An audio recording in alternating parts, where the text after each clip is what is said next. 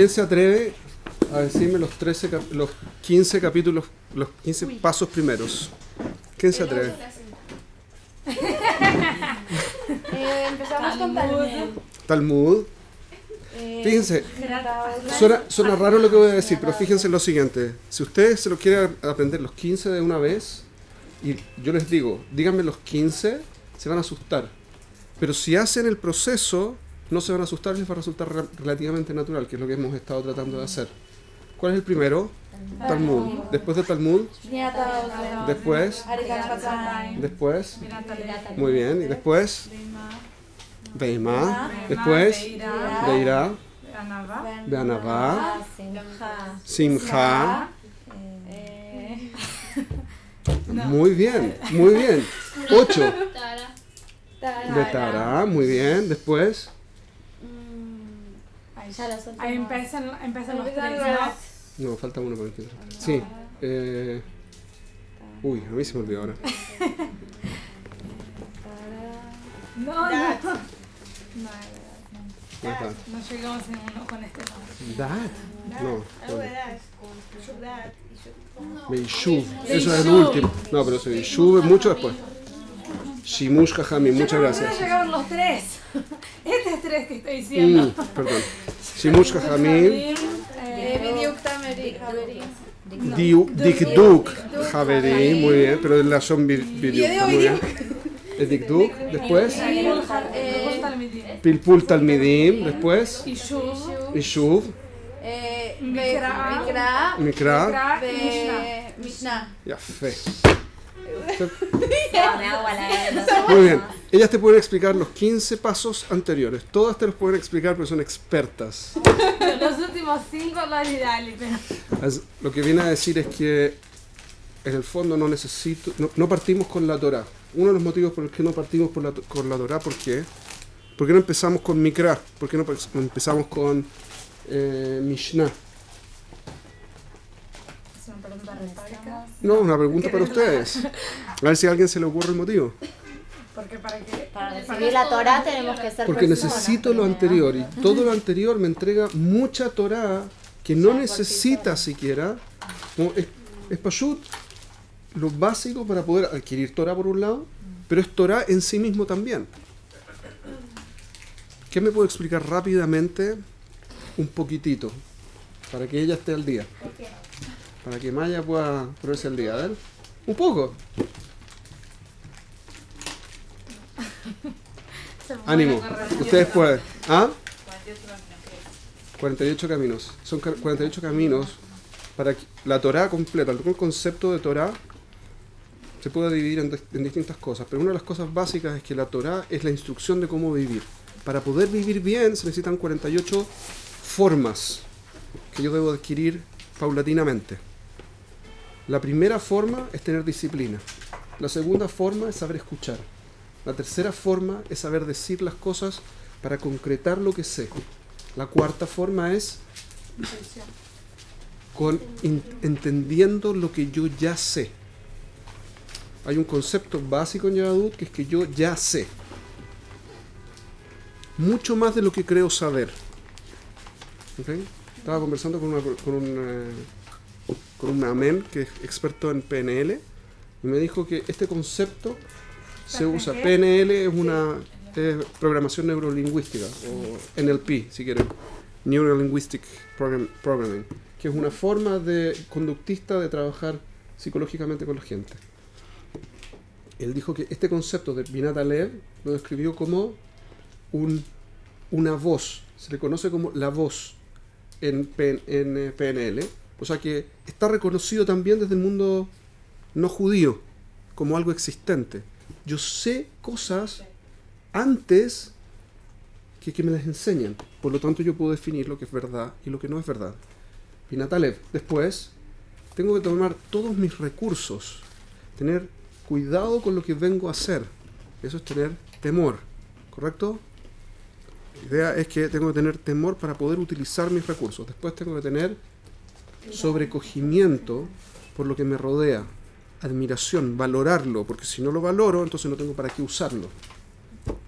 Después tengo que reconocer quién soy, cómo soy, cómo es el mundo, tener anabá, tener humildad, que en el fondo implica que no importo yo, lo que importa es el objetivo. ¿Mm? Y eso te lleva a la libertad. Eso ayuda a que, la- porque la gente cuando se identifica, se identifica con el, el ideal que el líder representa. Y por eso lo siguen. Después de eso tengo que tener Tahará. ¿Qué es lo que...? No, ¿Perdón? Simha, Simha, perdón. ¿Qué es lo que era la Simha? Autor. Autorrealización. El concepto es que soy capaz, ¿cierto? Soy capaz de superar mis limitaciones. Todo el tiempo soy capaz. Y eso hace que yo sea quien yo quiera ser. Ese es el concepto de autodefinición, auto, autorrealización. Y por eso eso es lo que llamamos la felicidad y la superación de las metas. Una a una me, me aportan satisfacción de haberlo hecho y eso lo llamamos simja. Después, ¿qué cosa? Tara. Tahará. ¿Qué es lo que era la Tahará? Se tres grupos. ¿Sí? sacar lo que no es, es dar un concepto y quitar lo que no Claridad de es. pensamiento. Aprovechar mi potencial. En Tahará, aprovechar mi potencial en tres aspectos distintos. En pensamiento, en sentimiento y en objetivos. ¿Se acuerdan de eso? Y después a nivel de integridad. Integral, no integridad, integral.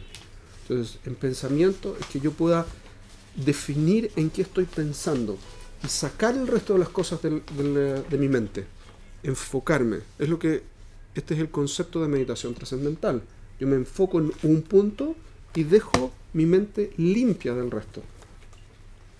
Después tengo que poder utilizar eso. Y puedo tener 70 caminos distintos, se- 70 pensamientos puedo tener cuando los paso a mi sistema automático.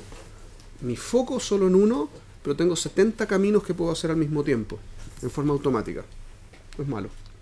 Eh, después de eso, mis en- emociones. Puedo seleccionar qué emoción voy a manifestar y potenciarla. Mis objetivos. Tener un objetivo claro, que es lo que voy a hacer, y dedicarme a él y potenciarlo. Y finalmente, unir todos mis objetivos y todos mis, mis- mis pensamientos y todas mis emociones y hacerme un ser integral. ¿Correcto? Y eso es Tahara. Después teníamos Shimush. Shimush Hajamim, que era utilizar a los sabios, la Kabbalah, estar con ellos para poder aprender lo que ellos saben, porque el aprendizaje más grande no es a través de lo que dicen, sino de cómo actúan. Uno aprende la forma en que valoran las cosas, la forma en que se relacionan con el mundo, con la gente, con las cosas. Eso me, me aporta muchísima más información incluso que los técnicos que me pueden trans- traspasar. Después de eso, Bidiuk Haverim. Dikduk, Ha- perdón. Dik- Dikduk Haverim. Yo también digo Dikduk, y, y yo me dejé llevar, mal. Dikduk Haverim, gracias por la corrección. Dikduk Haverim significa precisando con los amigos. Es decir, yo aprendí algo de, un sabio, pero yo aprendí algo que es una visión de lo que el sabio transmite. Y todos aquellos que estuvieron en la misma situación aprendieron con otras impresiones lo que el sabio dijo. A medida que yo voy discutiendo con mis amigos que compartieron la misma, eh, el mismo aprendizaje, puedo depurar los conceptos que los sabios transmiten. Eso es Dikduk Haverim. Y después Pilpul eh, Talmidim, que es una vez que yo aprendí, yo aprendí del sabio, lo discuto con mis pares y ahora lo transmito y, lo- y con las preguntas de mis alumnos aprendo mucho más incluso que con mis, con mis compañeros, que es más que lo que aprendí de mi rabino. ¿Ok? Eso fue eh, Pilpul eh, Talmidim. Después, Bemi- Beishuv. ¿Qué significa Beishuv? Asentarme. ¿Qué significa ¿Qué significa Beishuv en ese son Una vez que yo tengo todo lo anterior, lo puedo aprovechar para tener una posición clara, firme y estable de lo que yo creo de todo. de todo lo que yo entiendo, de todas las visiones que yo ya tengo del mundo. A continuación, de Mikra. ¿Qué es lo que es lo que, Mimikra? Leer eh, la Torah Shevita. Pero prestar atención a lo que, lo que, Lo que lo dice. el texto. Prestar atención a lo que dice el texto, porque yo podría leer un texto y todo texto y sacar lo que yo quiera que el texto diga. Pero para poder, para le- aprender del texto, necesito ver lo que el texto quiere decir, no lo que yo quiero que el texto diga. Yo les he hecho varias veces esta, esta mm, alerta. Lamentablemente en esta generación uno tiene que tener mucho cuidado con eso porque incluso gente que se supone grande, no los más grandes, pero mucha gente que se supone grande, Behemet, cometen errores en la forma en que están tratando de decir que el texto dice cosas porque si no se les pone difícil su forma de entender el mundo. Entonces en realidad están justificando su visión y no lo que dice el texto. No vienen a entender lo que dice el texto. Que tengan cuidado con eso. Hay mucha, mucha gente que está diciendo cosas muy complicadas. ¿Ok? Después de eso tenemos Mishnah. ¿Qué es lo que venía a decir la Mishnah? Todavía nos Es una clase, entonces yo no. Es la tradición, tradición oral. ¿Y qué es lo que era la tradición oral? Conjunto de ¿Cómo tradiciones está ahí hacer? ¿Qué es lo que era la Mishnah? Según el Rambam, vamos a ir como el Rambam. ¿sí? Yo voy a dedicar, solamente voy a asumir que somos como el Rambam. ¿Qué es lo que dijo el Rambam? Que la Mishnah era la explicación del texto. ¿Cómo la explicación del texto? ¿Cómo se hace? ¿Cómo es una explicación del texto las leyes? Porque las leyes son las que están compiladas la Mishnah. ¿Cómo, se hace? ¿Por qué es eso? la forma de Esto es que la misma forma- es cómo. Sí, eso lo dijimos. Pero ¿qué significa eso? que necesitamos de las dos cosas. Claramente, eso Ah, seguro, porque es una única cosa. Es la-. ¿Y qué, qué es lo que dijimos? Habíamos dicho que la Torah llega al P y la parte escrita, si no me equivoco, El perush de la Torah. juntas. Y que eso conformaba. eh, no, perdón. No, no dijimos No, no, eso. la, no la, la Torah escrita más la Mishnah. Ujú. eh, t- esas dos cosas nos daban. No solo la Torah oral. Nos daban, eh, No. No, nos dan otra hablar. ¿Sí? sí. nos daban lo que es la tradición. Y hablamos de, de que se conforma todo eso, puede ser que lo estoy diciendo mal. Pero Puede ser. puede ser. Yo me acuerdo que usted hizo en el pizarrón, lo escribió en el pizarrón para que nos quede más claro. Y me acuerdo que puso la parte escrita, abajo puso otra cosa y el resultado era la tradición. No, no era el resultado. Yo dije, Ah, era lo que era Torah lleva el P. yo dije lo que dijo el Rambam fue así, yo puse así. Obligación Torah. adicional de hacer la Torah de acuerdo con su perush. Eso que Torah. Mishnah, eh, mitzvah, perdón. Sí, ¿Y qué es lo que era la Torah? La parte Lo escrita. escrito. Eh, Torah escrita. Lo puse por el otro lado en realidad, pero. Y después teníamos la mitzvah que era la El perush, la explicación. Como Perush, la explicación de la Torah escrita. Las dos cosas. Y esto la Gemara dijo que era la Mishnah. Y como el Rambam no puede ir en contra de lo que dijo la Mishnah, eh, la, la Gemara, entonces su concepto de explicación aplica- implica que la Mishnah, lo que yo conozco como Mishnah, en realidad, según el Rambam, es solo una explicación del texto. Y el- estas dos juntas son hacer esto de acuerdo con esto se llama Torah Peh, tradición oral. ¿Según quién? Perdón, El Rambam. ¿por qué decimos distinto de esto? ¿Ah? ¿O qué decimos distinto de esto? A mí me parece que hicimos exactamente esto. Este fue, esto no es una conclusión, esto es una obligación. El Rambam lo llamó mitzvah. Mm. Esto fue lo que dijeron distinto. Correcto. No se trata la tradición oral, según el Rambam, de nuevo, que es como estamos, como me voy a basar, ¿ok? No, lo que esto no es una, un resultado de esto y esto, No. sino es una obligación de hacer esto junto con esto. Ah.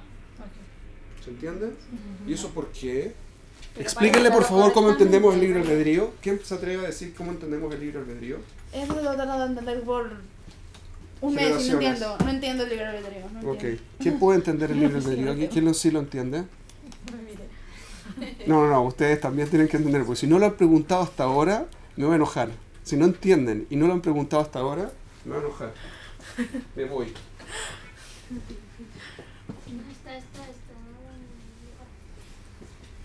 ¿Qué? O sea, el libre albedrío es lo que. Es la. No sé cómo explicarlo. O sea, que no Es la posibilidad de decidir. Es, es, es, No, No es la posibilidad de ¿Cómo poner en decidir. palabras? No. No. Pero cuando nosotros estamos frente al libre albedrío no tenemos, todo mal. no tenemos Todo una... mal, porque esto lo debo haber dicho en todas las clases de todos los temas. No lo dije claro. Entonces, pero no reclamaron, no reclamaron. Ustedes tienen que reclamar. No, Es su responsabilidad. No la mía, reclamar. No, pero- No, decía este, este libro albedrío. Si está aquí pero no sale, entonces no está tan bien aquí. El concepto de libre albedrío es que ¿qué? Que yo siempre hago lo que quiero. Eso es libre albedrío. Yo siempre hago lo que quiero hacer. Yo puedo elegir. No, yo hago lo que quiero, no es que yo elijo, porque usted no elige. En las elecciones siempre tiene una, una, un- una- una componente de conciencia. Tengo entre esto y esto, y yo hago esto y no esto. Eso no es lo que estamos diciendo que es el libre albedrío. Yo, cuando hablo de libre albedrío, me refiero a que yo en forma automática hago lo que quiero, Sí. siempre. ¿Qué es lo que es el libre albedrío? Yo siempre hago lo que quiero. Siempre hago lo que quiero. Muy bien. ¿Dónde lo aprendieron eso? Muy bien. Ah. Entonces ahí, ahí la mitzvah es la explicación de la Torah escrita No, la mitz. Perdón, de nuevo. Dime de nuevo, porque pensé que estabas hablando de una cosa y me, me parece que me equivoqué. Dale, mitzvah es la aplicación de la Torah escrita. correcto. ¿ok? Las dos juntas son una tradición oral. No. Es el mismo, el mismo error. Lo- solamente es porque no se me ocurre cómo ponerlo mejor en el dibujo. Pero es una obligación. La Torah oral es una obligación que es la de hacer esto de acuerdo con esto. ¿sí? Vamos a ponerlo así. Quizás así un poquitito mejor. ¿Qué es lo que es la Mishnah? Mishnah es la forma en que la Gemara se refiere a lo que está escrito en el texto que es mitzvah. Mitzvah, eso es la, la Mishnah, según la, según la, la Gemara. El Rambam no puede ir en contra de eso porque el Rambam no, no tiene la fuerza de ir en contra de la Gemara. Entonces cuando dice Mishnah, la Gemara, tiene que ser lo mismo que él mismo está diciendo. Porque si no, no tiene sentido lo que dijo. O sea, la mi- Mishnah lo que está escrito como la explicación. Es una explicación del texto. Y finalmente yo tengo la obligación de hacer la tradición oral, que significa hacer la Torah escrita como está escrito en la Mishnah. Eso es la... ¿De qué es lo que era? ¿Cuál es el truco en el libre albedrío? Que yo siempre explico el mundo de forma que lo que yo quiera que que yo quiero hacer es lo único correcto y razonable de hacer. Ese es el truco. El truco no es lo que yo hago, sino cómo explico al mundo. Eso es todo el punto. Por ejemplo, si yo quiero comer chocolate, entonces voy a explicar. Lo que pasa es que estoy tan triste que necesito chocolate. O lo que pasa es que en realidad no es, no es importante comerme un poquitito de chocolate ahora, si total igual la dieta la voy a seguir después y no va a hacer ningún cambio. O lo que pasa es que me lo regaló Juanito y es tan espectacular que me lo haya regalado que me lo voy a comer. O cualquier otra explicación que yo dé que hace que sea lo natural que me coma el chocolate. ¿De dónde viene mi explicación? Siempre es razonable, porque es una buena explicación. Para eso funciona mi mente, para poder crear una buena explicación de por qué hago lo que hago. Pero ¿de dónde viene en realidad? De que yo me quiero comer el chocolate. Punto. Entonces yo primero me como el chocolate, pero para poder yo vivir bien conmigo, tengo que explicar que lo que estoy haciendo está bien. ¿Ok? ¿Hasta aquí es claro? Que- aunque no esté bien. Siempre tengo una buena explicación. ¿O no? Podríamos Una después en algún momento tener una clase más específica sobre todo el libro, que significa, o sea, el libre albedrío. Tipo, ahondar en el tema del libre albedrío. Si no saca de los temas de 48 caminos, todo bien. No, pues, no, yo quiero tener que ocho terminar. caminos, pero no sé, en algún momento alguna clase específica de libre albedrío. Este Si encontramos un termina- momento, Si encontramos un momento. encontramos un buen momento. No me termina de cerrar. entonces el punto fundamental es así. Mi libre albedrío es que yo siempre hago lo que quiero, pero explico el mundo para que lo que yo quiera sea lo correcto. Eso es, eso es libre albedrío. Eso significa que, por ejemplo, si yo robo, Hase Shalom, siempre voy a tener una buena explicación de por qué robé. Si yo mato, siempre voy a tener una buena explicación de por qué maté. Siempre voy a tener una buena explicación para, vio- para violar, para asesinar, para lo que yo quiera hacer. Por ejemplo, son infrahumanos, como lo dicen los del ISIS, ¿sí? que van, toman pueblos y como una forma de someter al pueblo, violan a las mujeres que encuentran las, y hacen lo que quieren con tanto las mujeres como con los hombres. Matan, degollan, hacen lo que se... ¿Cómo lo justifican? Es una forma de imponer la ley islámica. A pesar de que la ley islámica nunca dijo que tenían que hacer eso. Yo me he visto como he visto. ¿Por qué me he visto así? Porque quiero vestirme así. Ahora yo lo explico. ¿Por qué me he visto así? Porque está de moda. Porque si no, no me, no me harían el trabajo.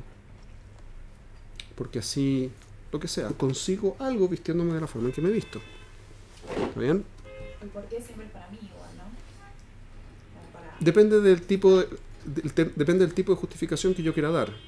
A veces va a ser para mí cuando yo cuando estoy autocentrado, pero puede ser porque la sociedad así lo requiere. También podría ser una bonita explicación. Porque yo, por ejemplo, en el caso de ISIS, no es por ellos, su explicación es para conquistar el mundo para el Islam. Es algo universal, algo para todo el mundo. No es por ellos. En realidad es por ellos, pero su explicación no es por ellos. Porque no pueden ponerlo en ellos, dado las atrocidades que hacen. No sería sano, no, no es sano, digamos, pero su explicación no sería sana si reconocen que es por ellos. Entonces no pueden hacerlo. Me imagino yo. Atkan, lo que hemos visto. ¿ok? Entonces teníamos Mishnah. ¿Qué es lo que era la Mishnah? Ah, perdón. La pregunta. No. ¿Qué es lo que es la tradición? ¿Qué es lo que es la Mishnah? está que la mitzvah, que la explicación de la Torah. La Mishnah es la explicación de la Torah oral. ¿Cómo es la explicación? ¿Cómo explica? Porque una Mishnah lo que viene a hacer, y esto es un concepto muy, muy lindo que trae el Rambam en estas condiciones, es que la Mishnah es una explicación porque la Mishnah define conceptos. Eso es lo que viene a hacer, no establecer, no es un Shulchan Aruch la Mishnah, son conceptos. Cuando yo tengo claro el concepto, entonces puedo entender lo que dice el texto. Cuando no tengo claro los conceptos, lo que dice el texto es raro. En ese sentido, de alguna forma, también tiene un poco de tradición oral, en términos de lo que otras, otras posturas eh, que no son el Rambam dicen. Que el yo necesito una Mishnah, que la Mishnah es la tradición oral. La Kavanah, la sin la Mishnah yo no puedo tener en contexto lo que dice la Torah y producto de eso, la tradición oral en el fondo está escrita en la Mishnah, que es lo que dice, por ejemplo, el Ramán. ¿Ok? ¿Estamos? Vamos a la, próxima, que es la, lo que nos trae hoy acá.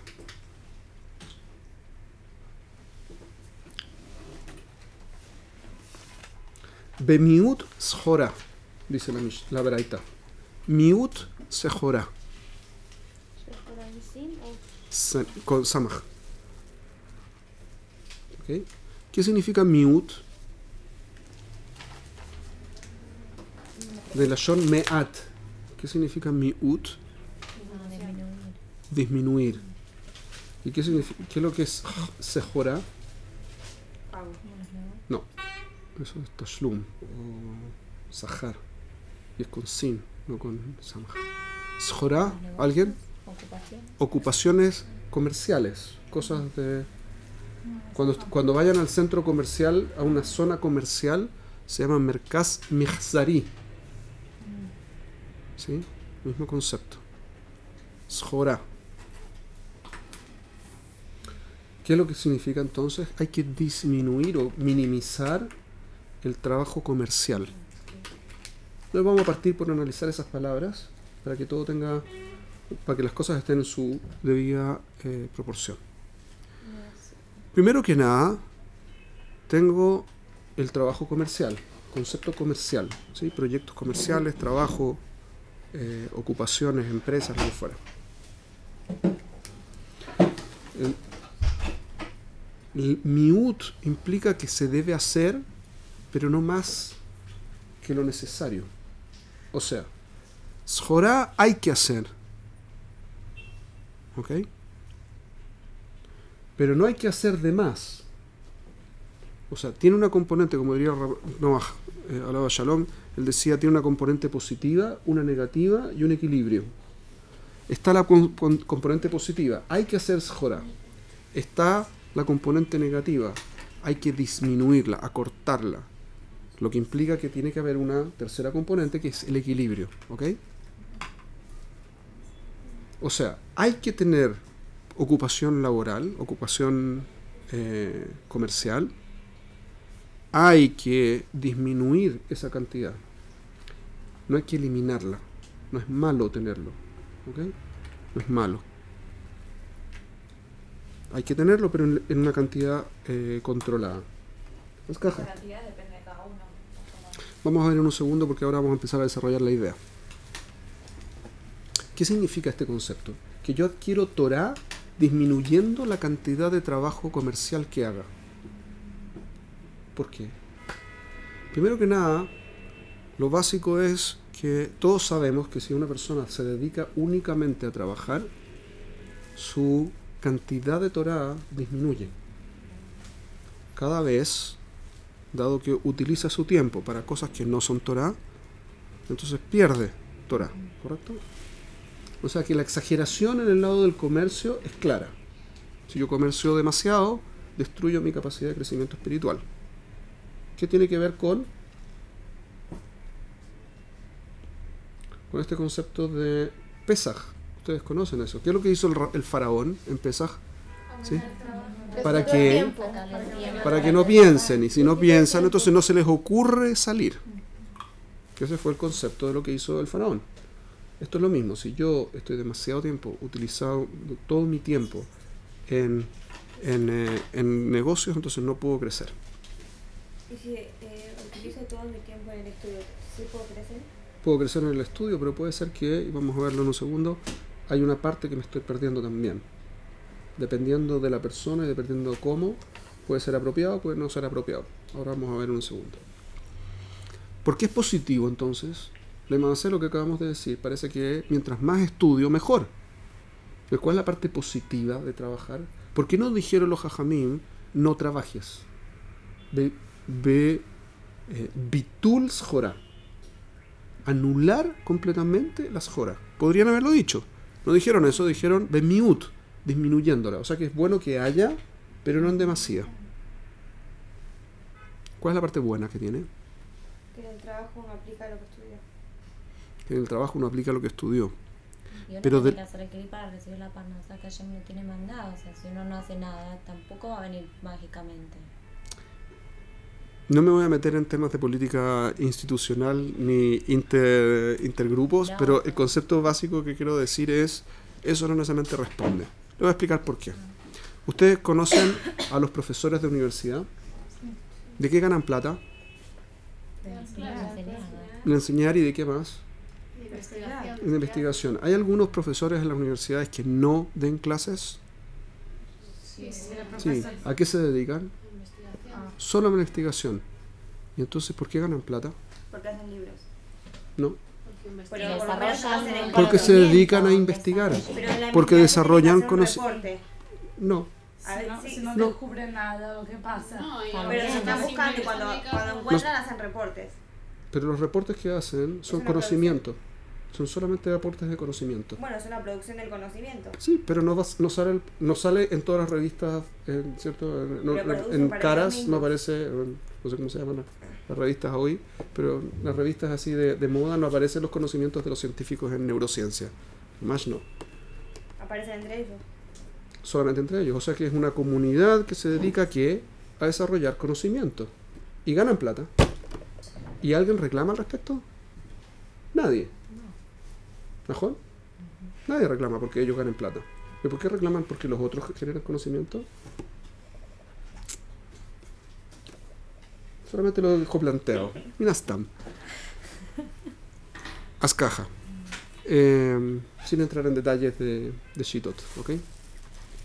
Obviamente hay gente que se tiene que dedicar a trabajar, nada que hablar, pero también hay gente que se tiene que dedicar a generar conocimiento, porque de eso dependemos. Pero generar conocimiento de qué tipo. O sea, solamente que quede en la parte intelectual o también escribirlo. ¿Usted ha visto los papers de Einstein alguna vez? Yo nunca estudié nada de esto. No sé. ¿Estudió algo de neurociencia, No, no biología? biología. ¿Sí? ¿Papers? No, ¿Por qué no? estudié lo que me enseñó mi profesora. No. Mi punto es, Tajles, que hay gente que produce y produce en el ámbito de la gente que produce conocimiento. Y pueden producir, en términos de Yahadut, Sijot, conversaciones de Torah, Shiburim, clases de Torah, textos, Alajá. yo lo considero un trabajo. obvio. Usted está dando clases a nosotros y también es un trabajo. Esto es mucho más explícitamente un trabajo. Yo estoy hablando de gente que no sale a enseñar, Pashut se dedica a estudiar. También. Está desarrollando algo. Mi punto es que también hay en otros ámbitos, nadie reclama que exista. En este ámbito no veo por qué va a ser una diferencia. Mira, están. Pero eso es un tema más de chitota, así que no, no me voy a meter en más que eso. Las cajas. Hay un punto fundamental aquí. Que es que Jajamín quieren que yo tenga trabajo porque más allá del hecho de que si no hay trabajo, muchas veces gente que no, está, no es apropiada para estudiar va a empezar a cometer errores y va a empezar a cometer eh, averot, que es lo que dice la Mishnah Nabot en los primeros prakim. Adicionalmente a eso, yo tengo que aprender Torah del estudio, del trabajo.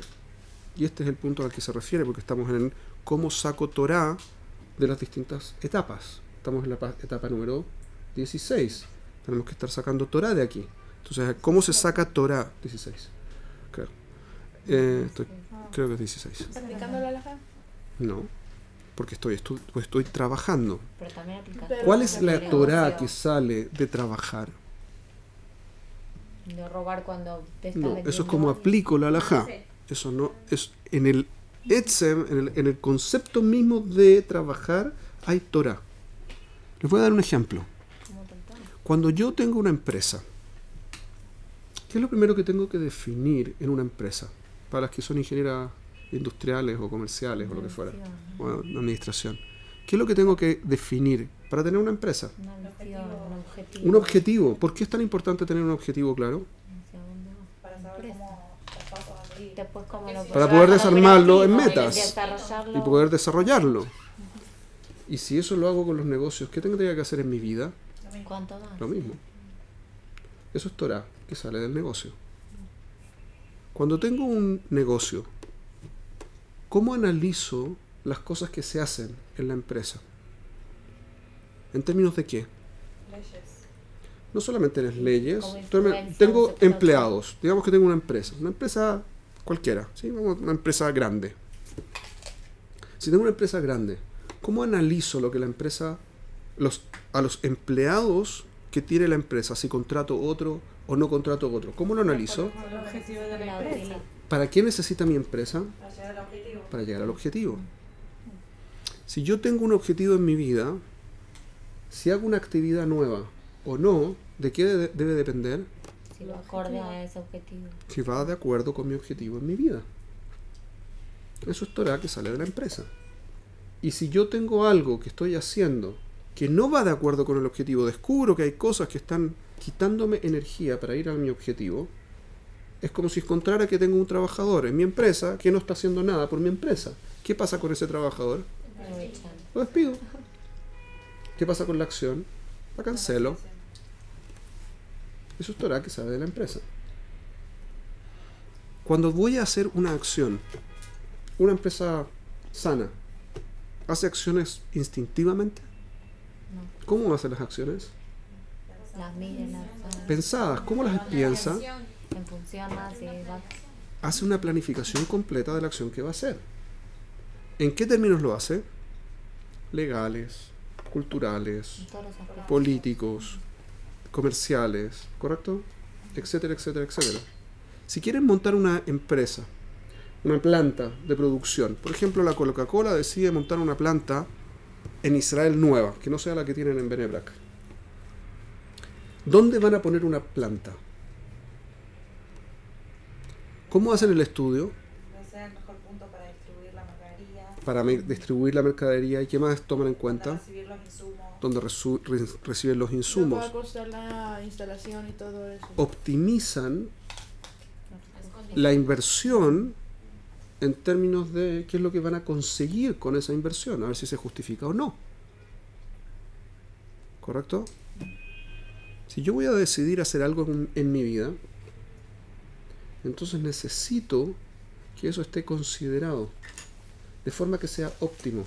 Voy a hacer algo que tiene sentido que haga en mi vida, de forma de alcanzar mi objetivo, con el mínimo esfuerzo, gastando el mínimo de dinero, con el máximo de ingresos, llegando más cerca, lo más cerca posible de mi objetivo con eso. ¿Correcto? Eso es Que sale de la empresa. ¿Por qué necesito estudiar? ¿Por qué necesito hacer Jorah, hacer negocios? Porque aprendo cosas del negocio. Hay dos cosas más que quiero que desarrollemos antes de que terminemos en este, este punto. Entonces, ¿cómo lo hago? ¿Qué es lo que pasa? Vamos, eso estaba en una empresa grande. En una empresa, una empresa pequeña, un kiosco. Digamos que ustedes deciden, se casan, su marido decide tener un kiosco. Ustedes deciden poner un kiosco. Para vender dulces. ¿sí? Candies, no cualquier cosa. ¿Cómo des- llega alguien a comprarles? ¿Qué aprenden, qué, qué saben ustedes de cualquier negocio? Una ferretería. ¿Saben lo que es una ferretería, no? Todo un colbo. Acá. Deciden poner un colbo, un- una ferretería.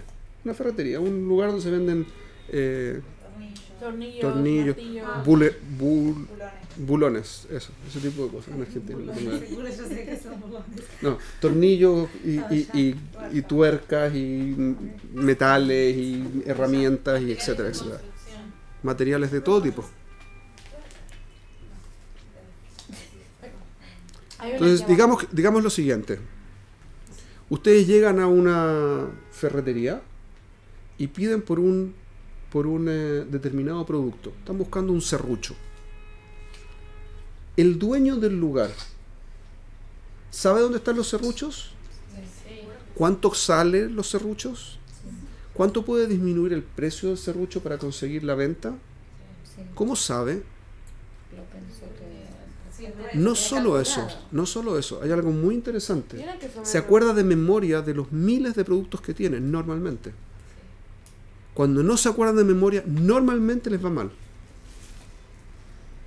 Y los buenos negocios, acá en Israel es muy interesante. Ustedes entran a cualquier lugar dicen, la la- estoy buscando un tornillo de una pulgada. En la fila de acá, en el tercer nivel, en el cajón no sé cuánto, ahí está. ¿Cuánto sale? Sale medio shekel. ¿no? Saben perfecto dónde está, cómo se ve, de qué color, cómo es la cajita, dónde, como todo lo saben. ¿Cómo lo saben? De memoria. ¿Por qué? Pues Porque es su negocio. Está involucrado. Café. ¿Y yo? ¿Cuál es mi negocio? Mi ser. Yo. Yo soy mi negocio. Si yo soy mi negocio, tendría que tener conciencia y tener memoria de todo aquello que me resulta importante. ¿O no? Todas las herramientas tenerlas en su lugar ordenaditas. Por ejemplo, los 48 caminos. Ustedes tendrían que tenerlos aquí de memoria. Saber perfecto cuál aplicar cuándo. Estamos en proceso. Estamos en proceso. Porque si no saben, entonces son uno de los negocios esos que les va mal. No es una buena idea. El, la, tenemos una historia de, de Leo Naví. Leo Naví se encontró con un pescador. Estaba en la, iba caminando Leo Naví por, el, por la playa y se encontró con un pescador que estaba tendido haciendo nada. La Gemara nos cuenta que le preguntó al pescador, ¿qué estás haciendo? ¿Estudiaste Torah? No. ¿Estudiaste Mishnah? No. ¿Qué estás haciendo? Nada. Entonces le preguntó León Naví, le pregunta al pescador, oye, cuando llegues arriba a los 120, ¿qué vas a responder? Porque te van a preguntar. Entonces dice, no te preocupes, yo tengo una muy buena respuesta. ¿Cuál es tu buena respuesta? Dios no me dio conocimiento suficiente, inteligencia suficiente para saber Torah, para saber aprender Torah, para poder acordarme de la Torah, etc. No me dio, no me dio las herramientas. Entonces el lo mira le dice, oye, ¿a qué te dedicas? Soy pescador. ¿Me puedes explicar cómo se hace una red para pescar? Claro. Con la red dijo, mira, se hace así, los nudos son de esta forma, y se ponen así, y se ponen estos pesos, y acá se pone peso, y acá se pone cosas para que flote, y hay que repararla cada tanto tiempo, y hay que hacer esto, y hay que hacer. ¡Qué bien! ¿Cómo supiste todo eso? Porque Dios me dio inteligencia para esto, pero no me dio inteligencia para saber Torah. Entonces Eliao le dice, un segundo, te dio inteligencia para poder ganarte la vida, pero no te dio inteligencia para que sepas cómo usar tu vida. ¿No te dio inteligencia para eso? Entonces el pescador se largó a llorar. Y lloró amargamente. Entonces Eliao le dijo, que sepas, no te preocupes, estamos todos igual que tú. Siempre tenemos un buen terutz. Siempre tenemos una buena respuesta de por qué no hemos aprendido algo. Eso tiene que ver con lo que estábamos diciendo al principio. Yo siempre puedo contestar con una a mis preguntas, de estoy haciendo lo que tengo que hacer, siempre tengo una buena respuesta. La buena respuesta puede ser, por ejemplo, lo que pasa es que no tengo tiempo. No, lo que pasa es que estoy trabajando full. No, los estudios. No, lo que pasa es que ahora estoy por casarme. No, lo que pasa es que ahora estoy buscando pareja. No, lo que, lo que pasa es que mi familia. No, lo que pasa es que siempre hay una buena respuesta. Pero si se trata de mi vida, es crítico que no haya respuestas que en el fondo no son respuestas. Porque demuestran en el fondo que yo estoy explicando lo que en realidad quiero hacer. ¿Qué es lo que era el libre albedrío? Yo siempre hago lo que quiero. ¿Y cómo se nota lo que quiero? En cómo explico mi vida. En realidad no tengo tiempo. La única cosa que viene a explicar que no tengo tiempo es que no tengo la obligación, porque no puedo cumplirla, no tengo la obligación de hacer lo que tengo que hacer porque no tengo tiempo. Eso implica que en mis prioridades, porque eso en realidad significa esto. Cuando no tengo tiempo, significa que mis prioridades están puestas de tal forma que estudiar para hacer las cosas bien está por debajo de hacer lo que estoy haciendo. Por eso solo hago lo que estoy haciendo y no estudio para hacer las cosas bien. ¿Correcto? ¿Es correcto el cálculo que hice? Sí. Si es cierto, entonces mi, la explicación de no tengo tiempo en realidad significa no, te- no tengo prioridad puesta en estudiar. Eso es lo que en realidad significa no tengo tiempo. Por lo tanto, en el fondo estoy diciendo lo mismo que dice el pescador.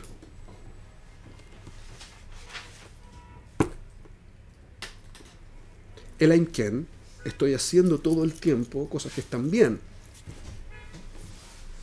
Cada uno con su propio heshbon, con su propia con su propio cálculo. Pero este es el punto fundamental. Yo tengo que aprender así. Entonces, voy a hacer una última eh, apreciación sobre, el sobre este tema. ¿Por qué en Jorá en los negocios resulta más evidente? ¿Por qué en los negocios la gente se puede aplicar con más facilidad que en Torah, por ejemplo? Porque hay dinero de por medio. Porque hay dinero de por Porque hay medio. una ganancia. Porque hay una ganancia. ¿En qué términos? Material. Es algo más Algo que El concepto de momentánea que inmediato. Correcto. Porque es evidente. Porque me resulta evidente lo que estoy haciendo. Y por lo tanto, enfocarme en algo que es evidente es más fácil que en algo que no es evidente. Hay un segundo punto, que todo el mundo le da importancia a mantenerse vivo. No todo el mundo le da importancia a hacer las cosas bien. Hay dos problemas fundamentales. Uno es que es evidente. El segundo es que no es tan importante en mi día a día ¿Qué cosa? hacer las cosas bien. Porque estoy tan sumergido en el día a día que el hacer las cosas bien que lo pasa a una segunda a una segunda prioridad, segundo nivel. Quizás pasa a segundo nivel porque el cómo no está tan, tan explícito. El cómo hacer las cosas bien no está tan claro. ¿Cómo podría hacerlo explícito? Estudiando más quizás. Pero hay gente que le falta, ¿Qué le falta? no sé, me parece que hay gente que le falta la voluntad de estudiar o, o, necesita la ayuda de alguien. ¿Por qué le falta la voluntad de estudiar? Porque no es algo que necesariamente necesiten, o sea, no es algo que Porque que no está da concentrado en el día a día. Porque está en una, en una segunda prioridad con respecto a hay resto. personas que necesitan ayuda para estudiar. Obvio. ¿Y qué es lo que tienen que hacer entonces? Si es prioritario, lo busco. Le tengo que dedicar recursos, sea tiempo, sea dinero, sea dedicación, sea lo que fuera.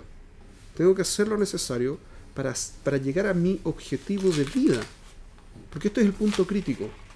Yo tengo que llegar a mi objetivo en la vida. Para llegar a mi objetivo, si no tengo claro cuál es, tengo que dedicar tiempo a inventarlo.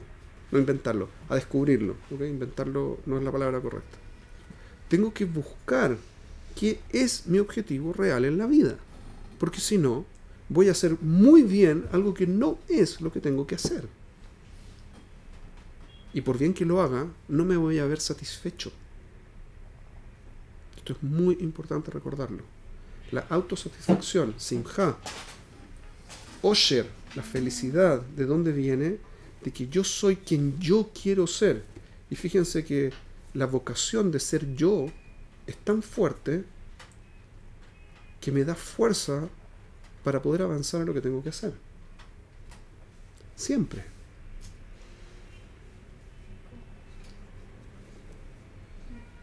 ¿Mejor? ¿Está bien? Voy a dejarlo hasta acá.